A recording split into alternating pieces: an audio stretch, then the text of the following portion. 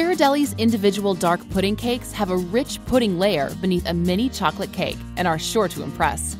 To start, preheat your oven to 350 degrees Fahrenheit. Combine flour, sugar, baking powder, and salt. Add half and half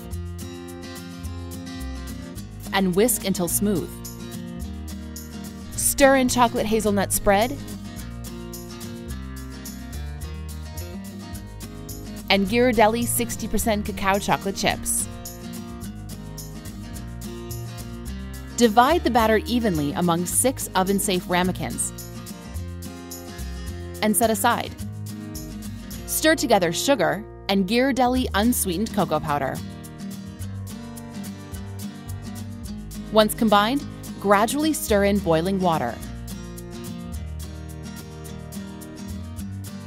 Then pour the mixture evenly into each ramekin.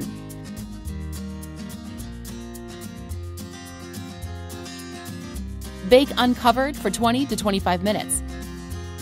The centers will indent slightly when done. Top with whipped cream, fresh raspberries, and chopped toasted hazelnuts. Chocolate pudding never looked so good. For more recipes, visit Ghirardelli.com.